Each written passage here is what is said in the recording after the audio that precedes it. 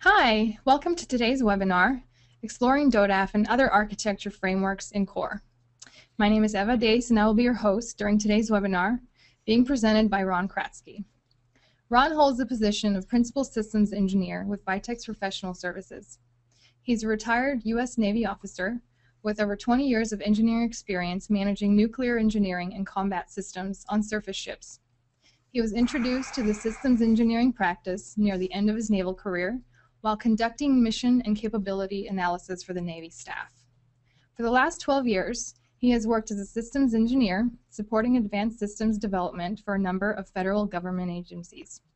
Ron was introduced to CORE in 2007 and used it to manage system development tasks on three different projects over the last five years.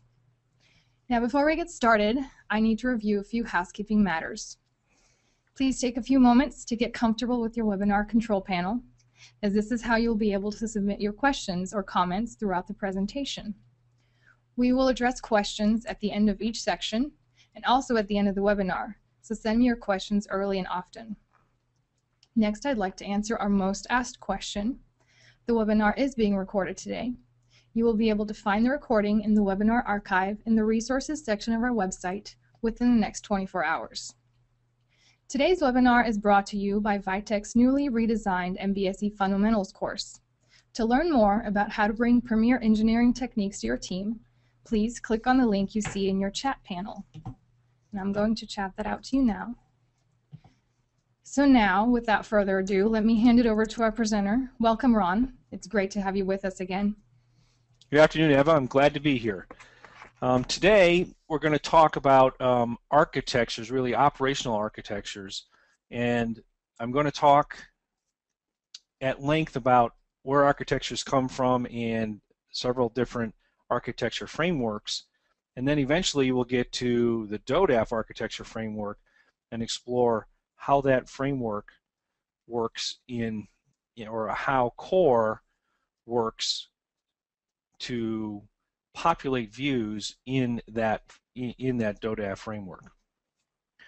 So to begin with, we talk about frameworks or we talk about architectures, but we I think that there's a mystery around what an architecture is many times as systems architects, we say, what's the architecture of the system? What does that really mean?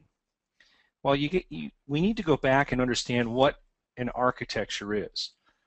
Architecture has been done for centuries, not necessarily by systems engineers slash systems architect, but more more so by traditional architects every every sky I, I have this little saying here that every skyscraper in the modern world has used the practice of architecture to design and build the building. And that's sort of what we're doing when we talk about architectures and information systems or how we how we relate systems to operational architectures. And just as architects that are building a building have to provide several views of that building, so do we as systems engineers and system architects. And that architect has to satisfy a diverse set of people, and so do we. Take the case of a new house. If you're building a new house, you have to have a whole bunch of different drawings, and the architect has to provide all those drawings. The homeowners association wants to see what the outside of the house is going to look like and make sure that you've planted trees in the right place and you don't have a fence that's too high. But as far as what goes inside the house, that's not really their purview. The county building authority has to see the structural drawings, the plumbing drawings, the electrical drawings, all those things to make sure you're complying with all the codes and standards for building that building. And what do you want to see? You want to you want to understand that that the house looks nice from the outside and that your uh, your man cave or or your kitchen is big enough to do all the things that, that you want to do.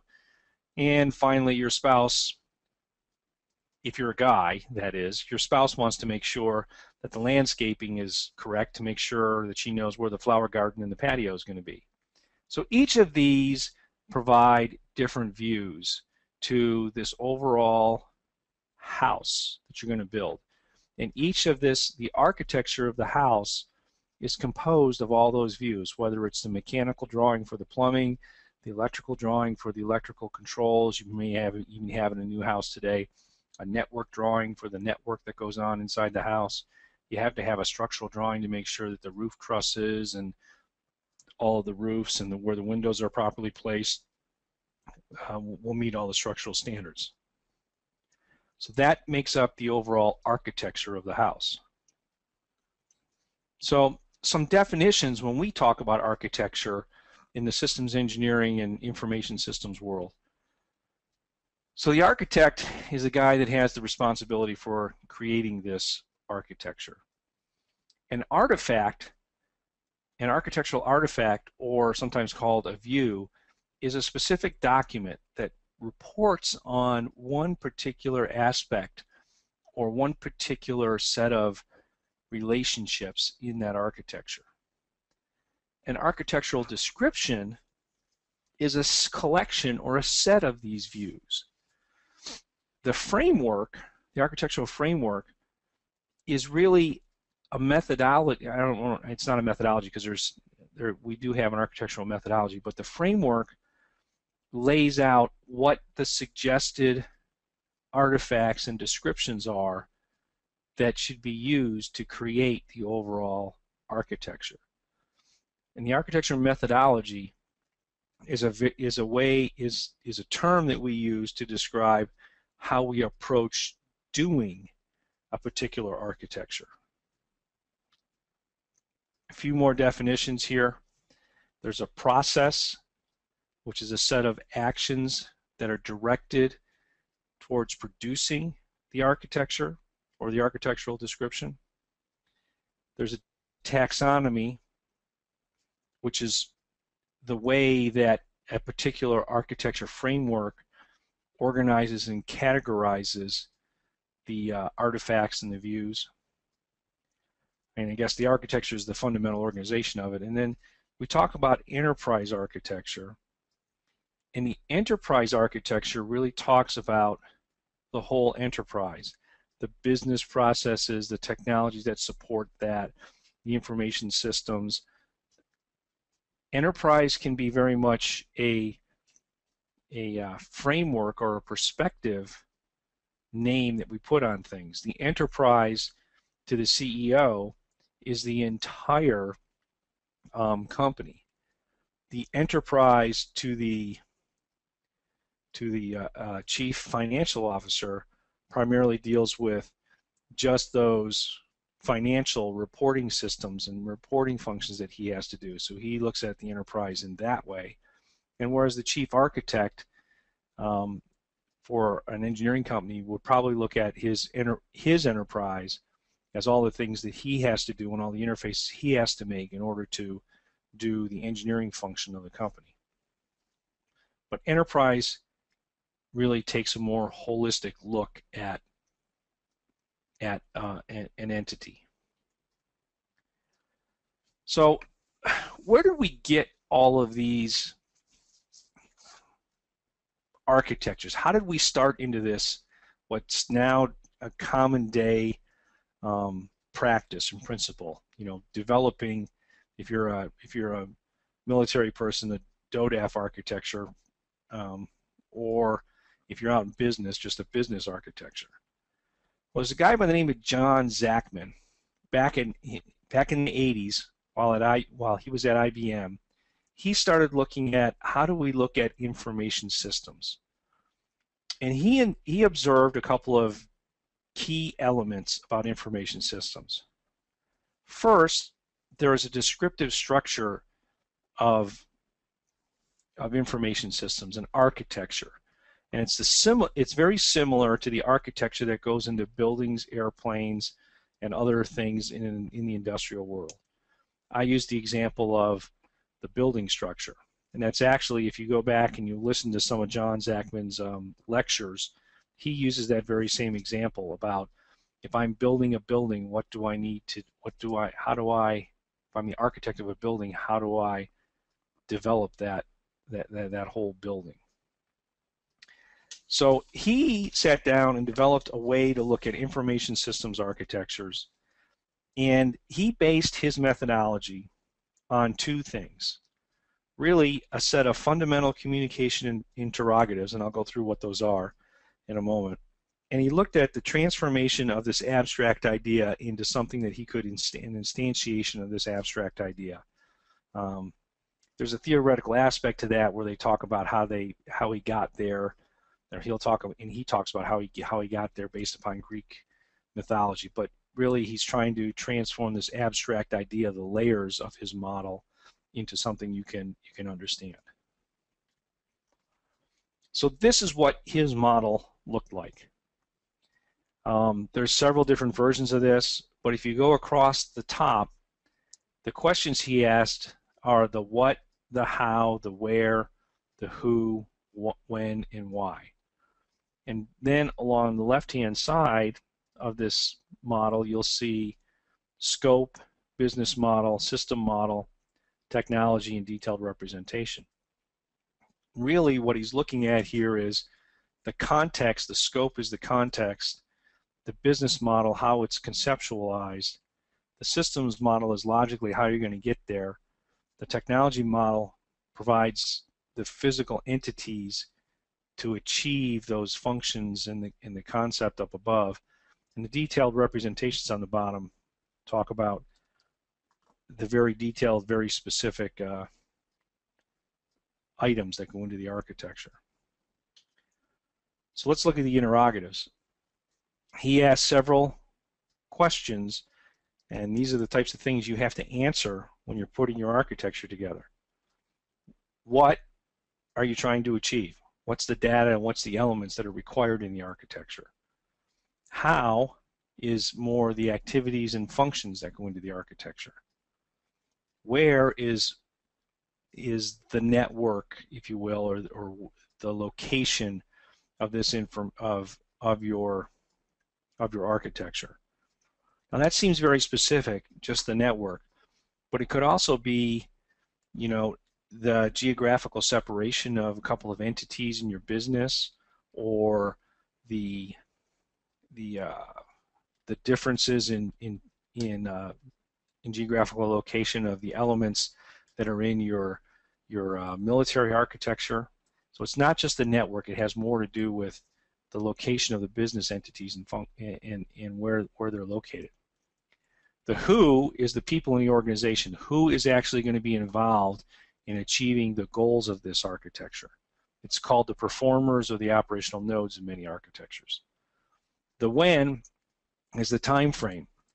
Now, the time frame is not the cycle time of the information technology. It really deals more with how do I time phase all of the capabilities I want to bring into this architecture, how do I bring them in in a fashion so they don't interfere with one another? What's the logical buildup for my architecture? And the why is the motivation. Why are we doing this? What what are we trying to achieve? What are the goals? So these interrogatives, these questions enable a comprehensive and complete description of the complex idea of your architecture. The next thing that he talks about on the levels, and I briefly talked about those on the left-hand side of the drawing, are the, um, the, instantiation that, that I talked about earlier.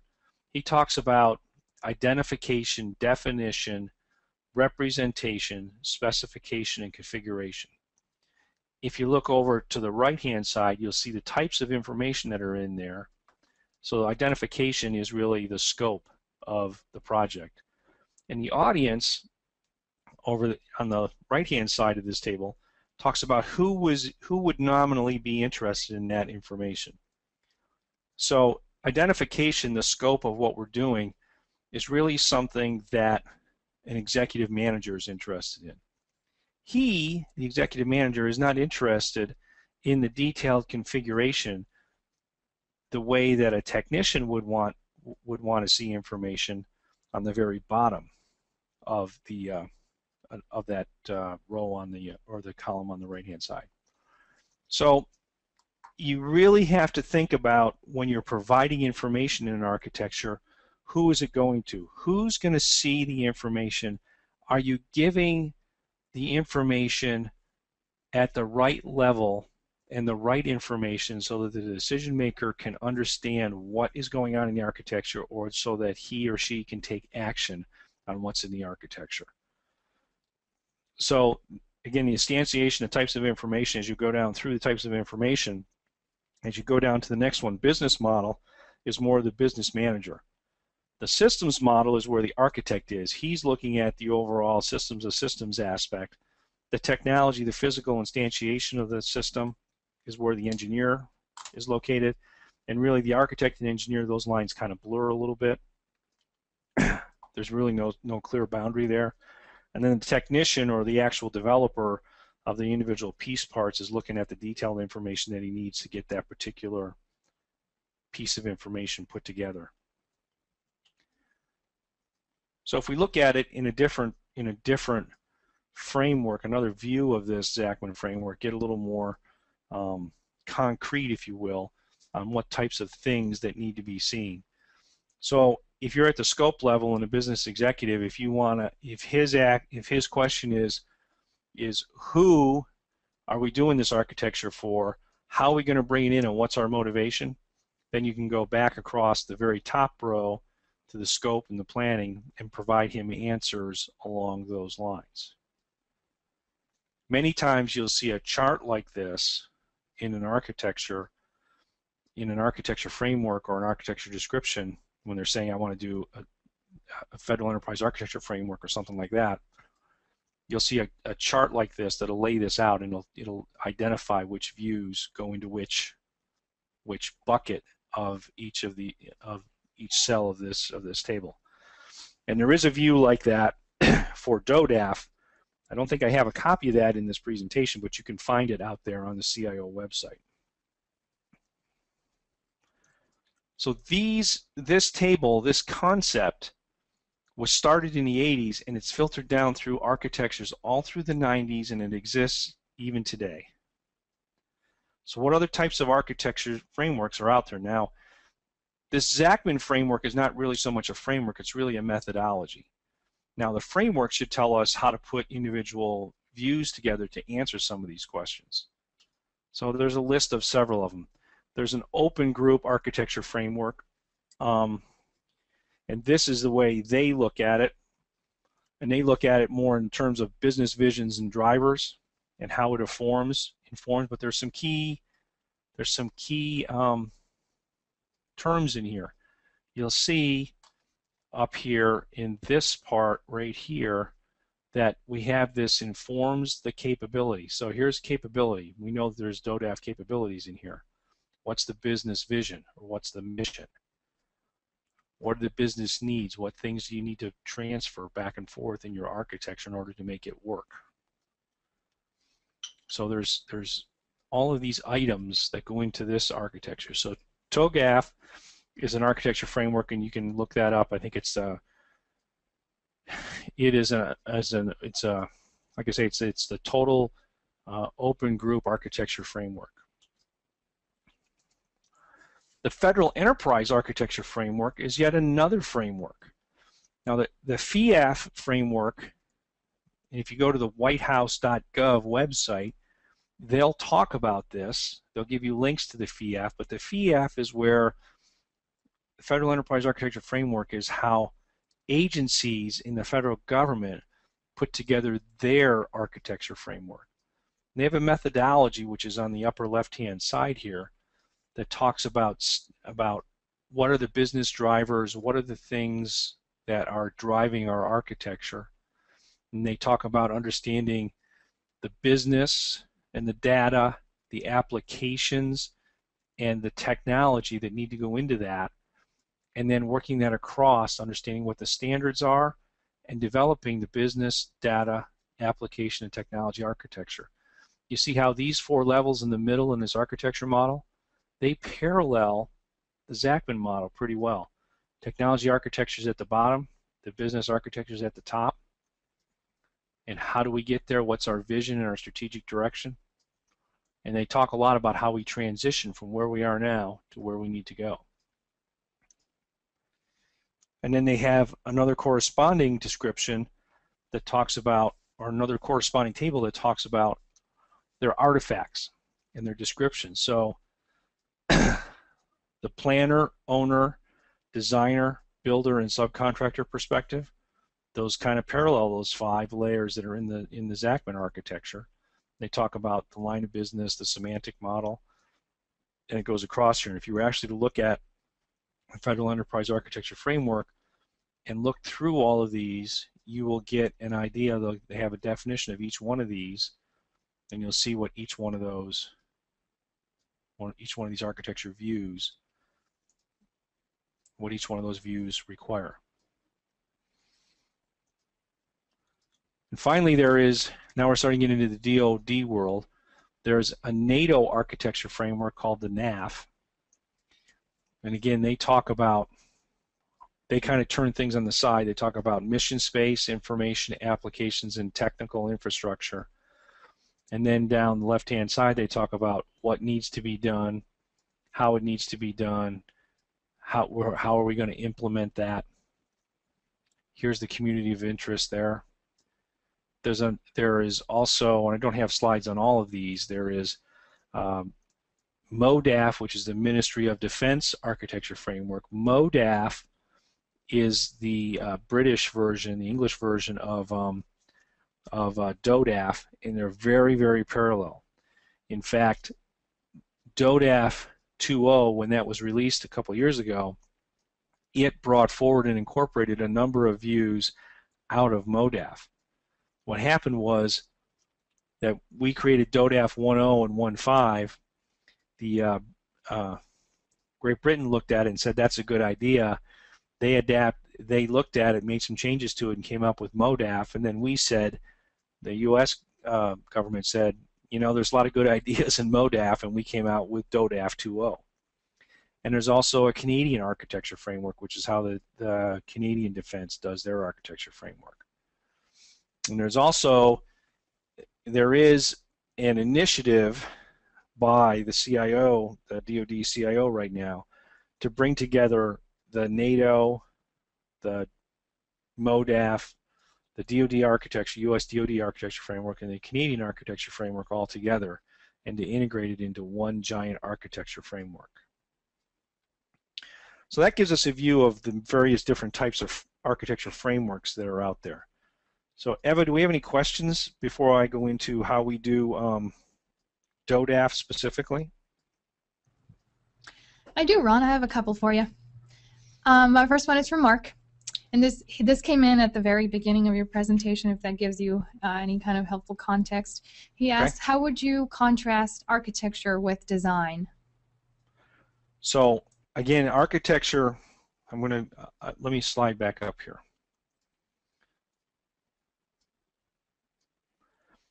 architecture, understanding how the things need to work together to fulfill the mission areas and strategic objectives you're trying to fulfill really occurs in the upper part of this of, of the of the framework if you will if I could draw a line between technology model and system modeler I would say that above that is more architecture below that is more detailed design now there's an obvious link between those two, and I'm going to talk about how we do that in core. And you know, I think it'll also become evident when I start talking about that how a systems development, systems design and development, as opposed to an operational architecture development, there there's got to be a certain linkage between those two. Otherwise, you will never achieve what you wanted to do in your strategic objectives you're going to have systems that are not closely integrated with what your strategic objectives are.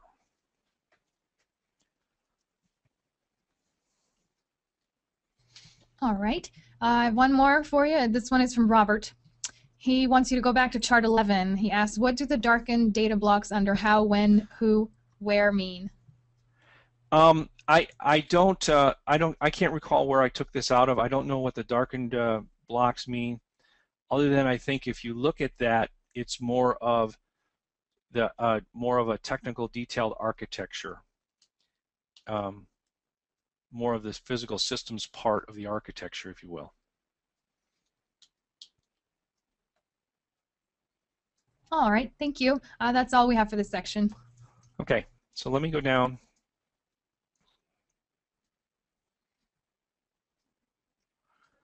So what is this stuff called DODAF? What does DODAF really mean? Well, so much like all those other architecture frameworks that we have, DoD set up a way to do and um, there's a couple of important here. This is right out of the uh, the DODAF version 2.0 introduction.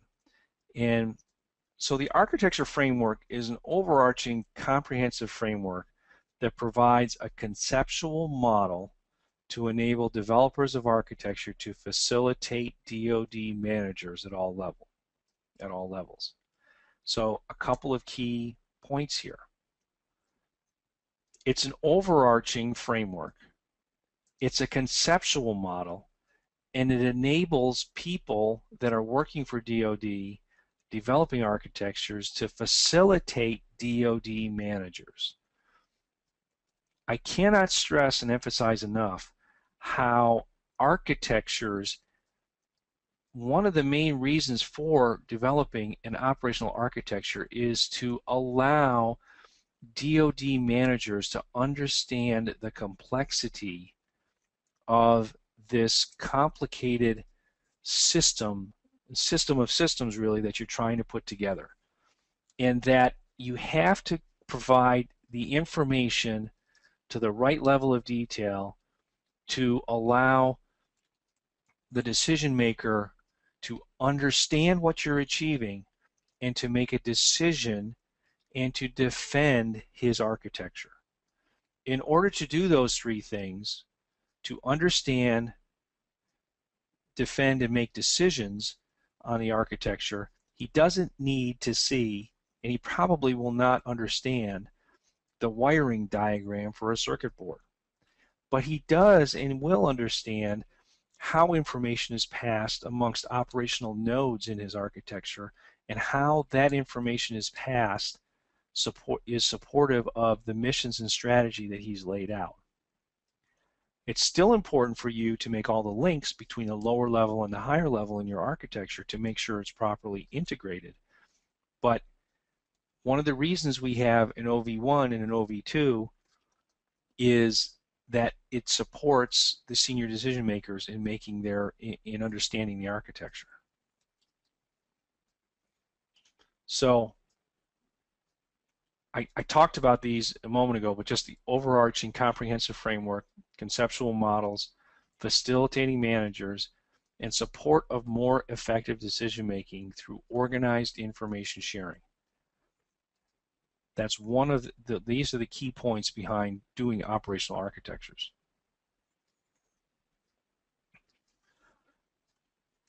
Just a quick note on the evolution of DODAF. This is a little bit dated, but we're now out here at, at at version 2.0, but it started out as just a C4ISR architecture in the early in the mid 90s and progressed through that. When I was on the joint staff, as as Eva mentioned, um, doing uh, operational uh, analysis is when we transitioned into about the time we were doing that, we were making questions about why we were doing the C4ISR architecture, and then we started working on making the transition to DODAF uh, version 1.0. So version 2.0 was published in May 2009. There's a 2.0 out there right now, 2.02 out there right now, and it continues to undergo review and change. And I, I talked earlier about there's some talk about trying to integrate uh, several of the architectures together into one cohesive architecture set. So DODAF is fulfilled by a set of views. There's there's AVs, there's C capability views, operational views, project views, service views, systems views, and data and information views. Again, the capability views, well, the all views is really only two elements there. One is an overall architecture description. The second one deals more with the definitions and the taxonomy of uh, that's used in the in the architecture. About the capabilities and mission areas and what we're trying to achieve operational views really are the are the meat of an operational architecture, and they talk about what operational activities and operational items are used by performers in the architecture. The project views talk about that the, the, the fact that I talked earlier about in Zachman framework, how are we going to do this? What projects support providing the architecture that we're trying to get to? Systems and service views talk about how I'm how I'm providing the services and the systems to support that operational architecture. And data and information views get down to the details of how the data and how the information is passed around in the architecture. If you go to DODAF version or volume 2.0, you'll find a detailed description and information regarding each each of these viewpoints. Now, in core, as we start talking about core now, I'm, I'm going to transition now into how we do things in core. Does anybody have any questions on DODAF itself for me before I start talking about how we do things in core? Uh, I don't see any. I haven't had any for this section. Okay. So, a moment ago, I got asked the question about how does an architecture, what's, what's the difference between the systems design and the architecture? The right-hand side of, of this slide is really doing systems architecture. These are the primary, what's shown on here are the primary elements that we use in core to do systems architecture. We talk about requirements and functions, we talk about components, we talk about links and interfaces and items. So this right-hand side is really the systems architecture. The left-hand side of this slide talks about doing operational architectures. The do, what, I, I, we call them operational architectures. It's really the DODAF type architecture. We talk about performers. We talk about, well, to begin with, we talk about mission areas.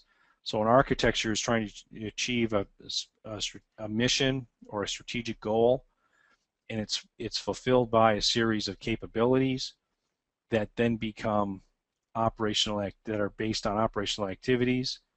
And the performers are trying to achieve something through operational activities and they end up with operational items that need to be passed around across and the performers need information to be transferred.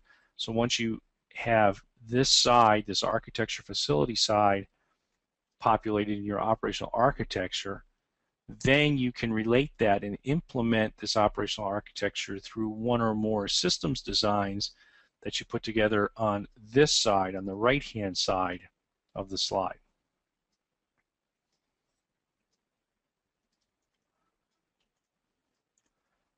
So in core, we have an architecture class. That architecture class achieves a mission is composed of performers, it's specified by capabilities, it's assigned to organizations, and it's implemented by program elements. Now, there's a distinct difference here between an organization and a performer. A performer is an element of an operational architecture that produces, consumes, or, pro or processes information. Those are the people that are actually doing or using the architecture to achieve that mission. The organization is an individual or unit that's assigned to achieve that architecture. Not to actually perform in the architecture per se, but someone who's responsible for developing parts of the architecture. There's always a program management and delivery part of an architecture that says, I'm going to achieve these capabilities by doing these programs, and this organization is going to work on that program element in order to achieve it.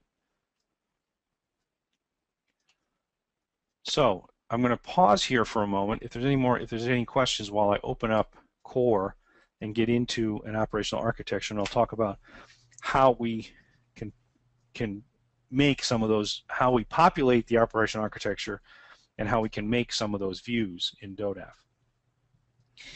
I have a few questions for you, and actually, before you uh, hop over to core, um, they want to see Lauren would like more, to see. Yep, chart 19. Uh, she says, is the diagram on chart 19 based on the DM2 in any way? Okay. The DM2 is a DODAF meta model that specifies how DODAF views the relationships behind their view of of how an architecture should be put together. There is a parallel between this slide and DM2. DM2 has a thing I believe called operational nodes. We alias that to a performer, for example. DM2 has a relationship from a performer to a need line, or from an operational node to a need line. They call it something different than connected to. The reason we have a different taxonomy, if you will, is because one of the underlying reasons is that we have a very specific language structure in core that was developed way before DM2. Um, I don't have a excuse me a complete map of this this schema to DM2 at this point. And the reason we don't have that fully developed right now is because it is our understanding that DM2 that there are changes to DM2 right now that are occurring that have not yet been publicized, and they will occur even more when the uh, when the future architecture framework comes out. So there's a parallel between this and DM2, but it is not based on DM2. But we can show a mapping from this to DM2.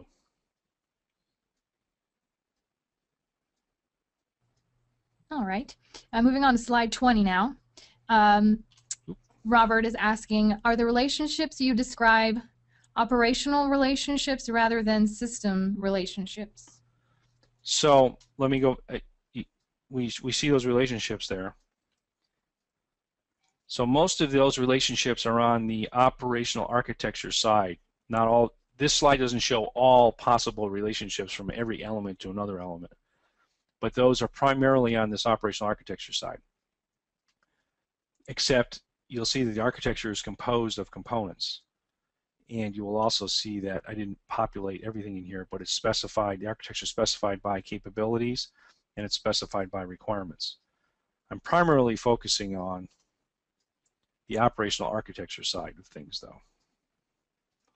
And notice as you go down through here, all of these the the relationship between the left-hand side and the right-hand side of this slide all occurs through this implemented by relationship.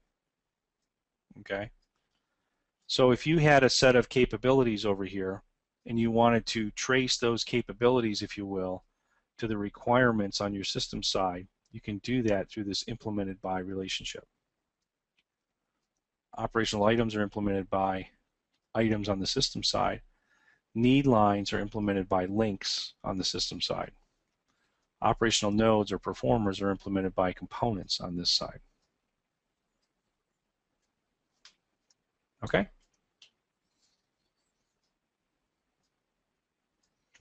All Anything right. else, Eva? Um, Court would like to have an example of, um, can you hear me?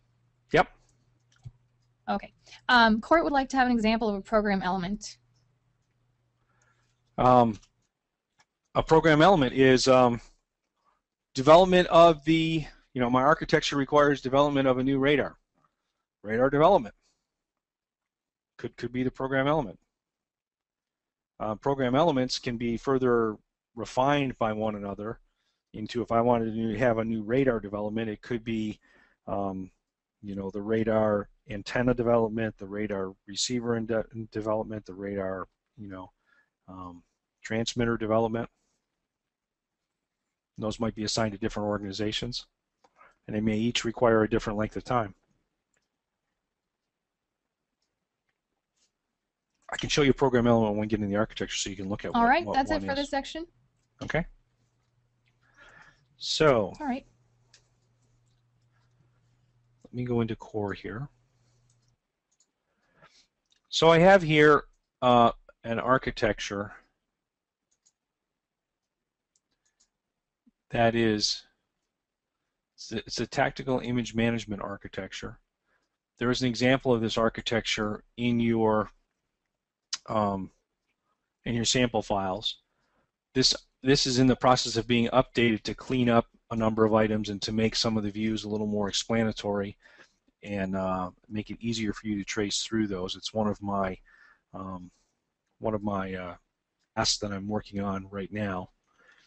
But I wanted to walk through how to do an architecture or how to get into this this operational architecture.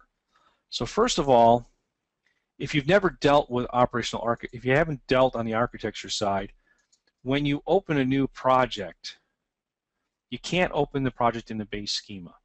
When you open the project in the architecture schema, it extends the schema to provide all of those elements that I showed on the left-hand side of that slide.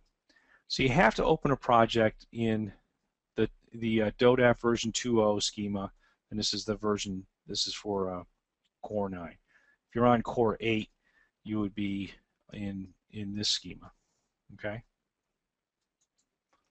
So I'm going to just uh, cancel out of that and go back into my into my architecture. And what you're going to find then is in addition to on these facilities here, you're going to find this architecture development facility at the very top. And when you open that facility, you're going to find this top this top uh, level here called archi this top folder here architecture. You're going to have capability class in there. You're going to have some other uh, new ones, operational activity, need line, operational item, operational tasks. You're going to have performers in there and uh, missions. And I think that pretty much covers it. There might be one or more other ones. And so you will be sitting here with this framework. Now, let me go into capabilities here. And so I have a set of capabilities listed here, but I wanted to show you something on hierarchies here when you look at hierarchy type, I have several new hierarchies in my list here. There's capability hierarchies here, and there's some organizational and operational resource flow hierarchies here. And there might be one other one, project portfolio, I think is, is another one that's in there. So the first thing you need to do after you've opened your schema in this way is you have to also import these additional hierarchies. So the way you do that is you go to core, import data file, and then navigate to wherever your core software is. To me, it's on my root C drive. It probably isn't there for you guys. And you go to Reports, DODAF 2.0, and you'll see two files here. One is the hierarchy definitions, which provides those additional hierarchies that I showed you earlier. And the other file you need to, so you import that one. And the other file you need to import is the DODAF 2.0 viewpoint template. That imports all of the scripts, or excuse me, all of the document um, elements that we need to create any of the DODAF viewpoints. So you import those, and the way you do that, if you were going to import these definitions, you do it this way you walk through and when you get to this file when, we, when you get to this screen here excuse me get to this screen here you have to import it and import it into the project you just created okay so once you have those in, you have that imported you'll have this folder here that says DODAF 2.0 viewpoints and you'll have all of these the, the viewpoints populated in here now it's very similar to starting as you start up doing document generation on the system side. So after you've got that in here, in there, you've got the, both the document viewpoints and those those hierarchies in here imported in. The hierarchies are again they're over here. If you look at hierarchy type, you'll see the new ones that are in here. Okay. Once you have those in there, you have to make one other relationship. You have to relate the architecture to the root DODAF folder. So you do that by using the reported on relationship and you make the architecture reported on or reported by that um, that top folder right there. So this is reported by zero DODAF viewpoints. And if you look here, it'll go right to this one, zero DODAF viewpoints, okay? You only have to make one relationship and that allows you to, to create then any of these viewpoints that are in there, okay? The reason you have to bring in the hierarchies, the additional hierarchy definitions, is because when you make a viewpoint, a DODAF viewpoint, those hierarchy definitions are used in those DODAF viewpoints. So those have to be included in the model as well as the documents. Any questions on that? I do have a few. They're actually pouring in right now. Um, here's one from Robert. Um, can you share a little more on the initial input data that generates the DODAF 2.0 viewpoints? Um, I'm not sure, Robert, if you're asking how I put data in my model or where we decided what to make, how to make those DODAF 2.0 viewpoints. What what goes into making the viewpoints? So let me just let me just say this. What we did to create how I was going to answer a viewpoint in in core, how I was going to construct a viewpoint, is I went back to the DODAF, the DoD architecture framework.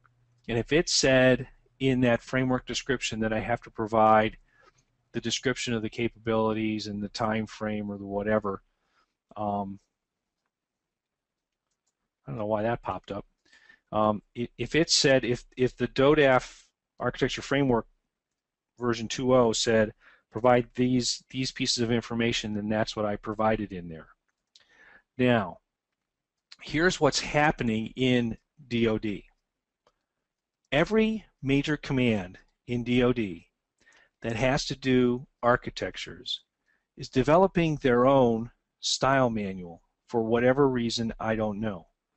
And they are adding additional bits of information that they feel are necessary in their DODAF views. We are complying with the Secretary of Defense's, you know, requirements for DODAF. So that may be one thing that people are seeing. So now let me ask the other question. How do I get the information in the project, the core project, in order to populate those views. If I look here and I pick a a view, I'm going to go to just I'm going to pick the capability viewpoint.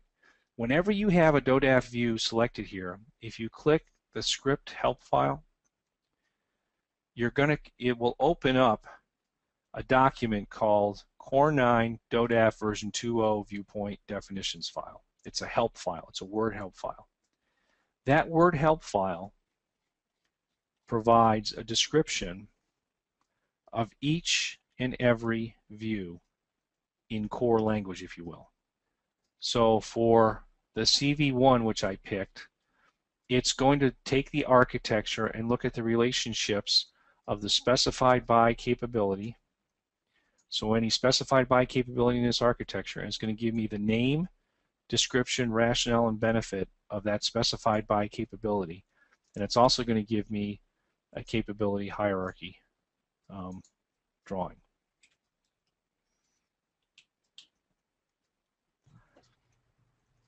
So right, one of the things you one of the things you want to do is open up that file. Go ahead. Sorry, I just wanted to say um, Robert did get back to me and he said um, he wanted to know what kind or type of data creates them. So. Okay, so this is this is if you so I think uh, Robert, what I'm answering, th th this is really the the crux of your of your question here is is what creates these different views, and this document describes the information in core that goes into each of those views. Okay, and it's based on the requirements that are in DODAF version 2.0. And I'm constantly reviewing these and looking for changes that come out as 2.0, 2, version 2.01 and version 2.02 come out, and I'm constantly monitoring the uh, the practice area, if you will, to look for changes in how to how we put these views together. So there's two ways to start here uh, to put information into an operational architecture. One is if you if you if your customer said I need to know I need a CV4 view, then you can go in here and figure out what things I have to put together into a CV4 in order to make in order to make a CV4 out of core. The other way I think is to start with um, go back to let me just go back to this uh, this chart here for a second. If you start here with populating, making a name for that architecture, populating the missions and populating the capabilities that go into that architecture, that's the easiest way to start on doing this, doing one of these architectures. Um, so essentially here, let's let me just run this this capability vision view. You select that view, that script, select OK. It'll run. It'll ask you where you want to put it. Um, you allow me the moment here, I'll just uh, put this into my folder where all my other webinar stuff is so I don't confuse it with other things on my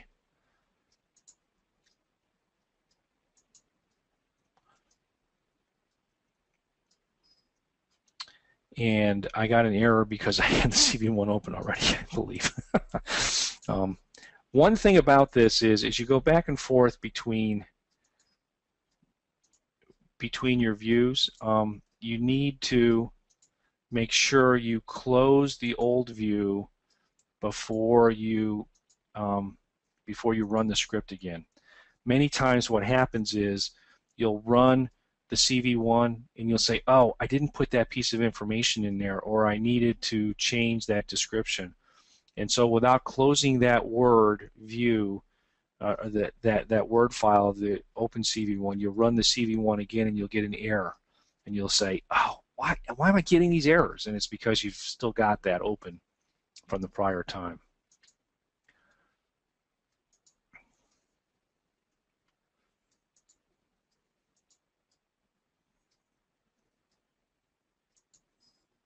And now it opened fine because I made sure I had it closed. And so it comes up with this architecture specified by this capability. It goes through my capability tree. It gives me this description, rationale, and benefit, as I said. And it only gives me the description, rationale, and benefit of the specify of the, of the capabilities that are specified by that architecture. These are all capabilities that I refined from this one architect, this one capability I had up here.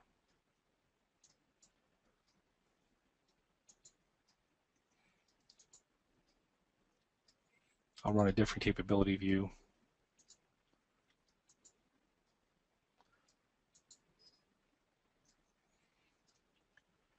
So this one talks about all the capabilities that I have in there and gives me the description, the rationale, and the benefits because the CV2 really has a different a different uh, bit of information that goes into it.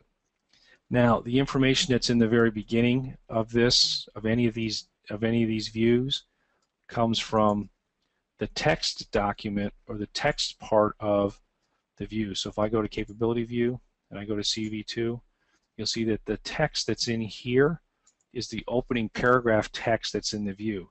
So if you had a particular set of information you wanted to provide as additional information on what is in the CV2 for this particular project, you have the freedom to put all sorts of things into this into this description box here.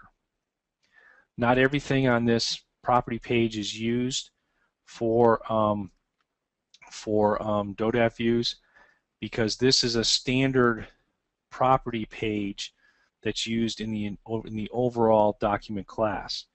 Many of these other these these other uh, attributes are used when we do um, standard documents for like uh, SRS or an SSDD or whatever, but the property page stays the same for the entire class.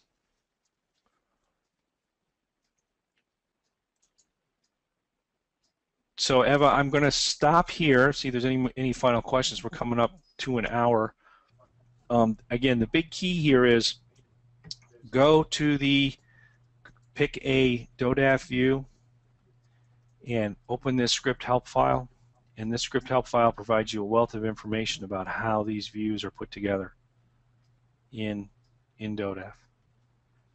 And if you have any suggestions on how to change any of the views that are in here, certain things you'd like to see or think ought to be in there, just uh, send a comment to uh, customer support and Bethany will send them over to me and I'll look at other ways I can do some of these views. All So- right, absolutely. And um, that email to reach Bethany actually is support at vitechcorp.com. Um, I have another question for you if you're ready, Ron. Sure, I can. I'm ready for questions here. That's why I want to stop a little early. All right. Um, I have one from Lauren. Does the tool provide any validation of the views once created by the user? Validation to make sure the correct type of elements, relationships, etc. are used in each view. Um, we don't. Okay, so there's no validation once the script is run. The validation is really you have to look at it, and make sure you've got all the information captured in there that you wanted in there. The validation on our end is I have gone through each one of these view descriptions and made sure that this view description matches what or meets the requirement from the DODAF version 2.0 um, specification, if you will, the framework.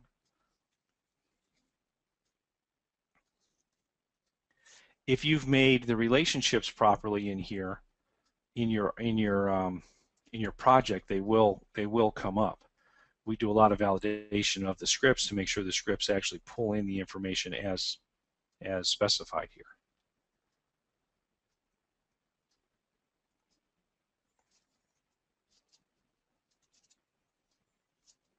Next one, Eva. Sorry, Ron, I didn't know if you were finished yet. Yeah, that's that's um, fine. Let's see. Uh, Mark would like for you to walk us through the help file. Okay. So the help file starts out with a just the index here of everything. This initial part here, this description here, this general part here, um, actually this one here is an old Core 8 one, um, and, and this is a change that's coming out in the next uh, in the next release. But this this front matter here discusses exactly what I just showed you in in the bringing in the hierarchy uh, diagram or the, the additional hierarchy uh, um, definitions and bringing in the uh, bringing in the uh, the documents here. Okay, so that's what's in the that's what the front matter is, and then we go through in alphabetical order the each of the viewpoints. So we have the all viewpoints, and down here you're going to have the capabilities, and what's next alphabetically is the uh, is the data and, and, information viewpoints. So let me just take one here that we just looked at. So this this is a brief description. This is a DODAF description. Actually, this little description block is the same description block that's up here. And frankly, I think that in practice, you would take all of this information out of this out of this description and put in your own description of what this CV2 is. Because CV2 is a capability taxonomy, but what you want to say is it's the capability taxonomy for the blank architecture, okay? And put some information in there of, of what's going to happen in in this art or for this view in this art what's the what's the view capturing for the architecture. And then what core does is it again it goes to the architecture class.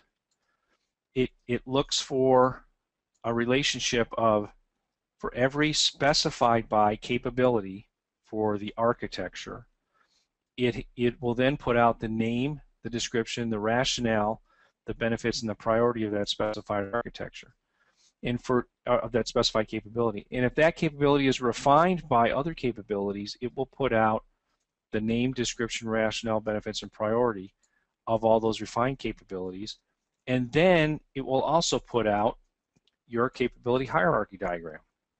Okay. Um, the reason it has architecture in here is because over here I have tactical image management architecture. But if I made this, if I change this to the architecture that was the as is architecture, okay, and then let me make a new element, um, the TIMS to B architecture, okay. When I run the script, it's going to ask me which architecture do I want to do I want to report on. So whichever architecture you pick, which architecture do I want to pick? I'll pick this one. There's nothing in the 2B architecture because I haven't made any relationships to it. Okay. And then it'll run that CV2 again for me. Okay. This is for the, the TIMS architecture, right? So let me let me change that. Let me go back to the model here for a second. TIMS 2B, I will, first of all, this architecture has to be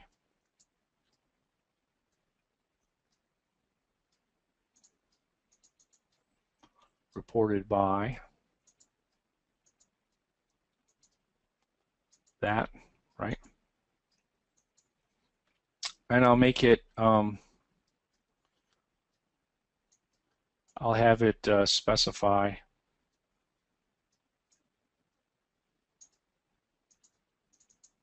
we specified by just this guy, okay?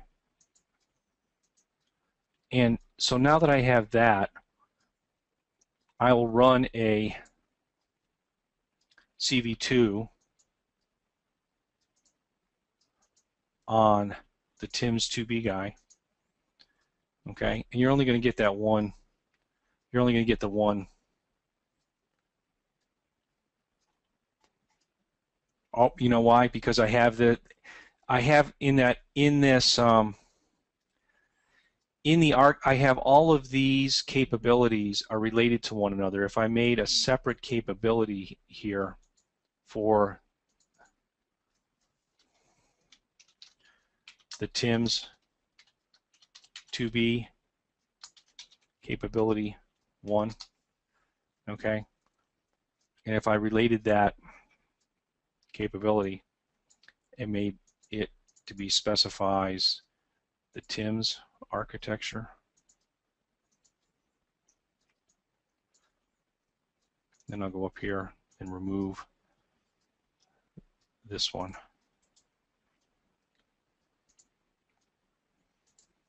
And then I can run this architect run this again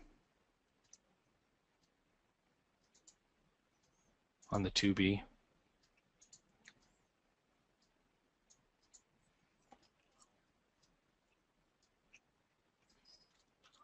I violated my own rule, didn't I?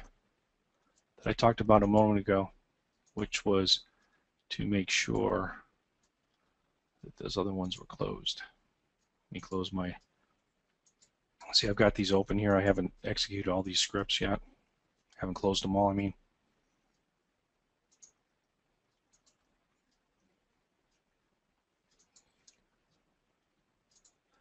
Once you do this a little bit, you'll see how easy it is to create these.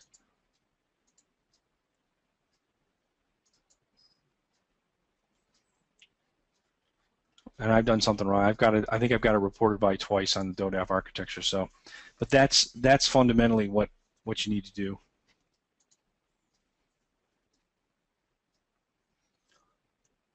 Any other questions, Eva? I've got one last one for you. I know we're running a little bit over. Um, this one is from Lauren again. Are actual DODAF views created by the user or auto-generated by the script? They're auto-generated by the script. In other words, I have a script here that short and sweet. yeah, it's just you know there's a script here in for each one of these um, for each one of these um, viewpoints that pulls up a script. So um, the uh, I won't get into the details of how that's done, but um, if you went into this into the um, if you went into where the script files are kept, you'd see a script for each one of these DODAF views. And, and literally all you do is you, you import that that uh, template into this into the system and then run it. When when I talked about bringing in the hierarchy um, views and then bringing in the DODAF doc def, document definition templates. You bring those in, and now they're in there, and then you just run the script.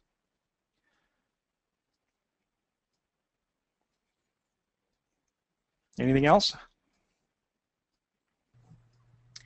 Um, I think that wraps it up for today. Um, Okay. I know there was a couple of questions that I um, didn't get to, and I apologize to those people. Um, if um, if you would like, you can visit our community site at community.vitechcorp.com and ask again there, or you can uh, reach out um, to Ron uh, directly. And uh, Ron, do you mind if I send out your email?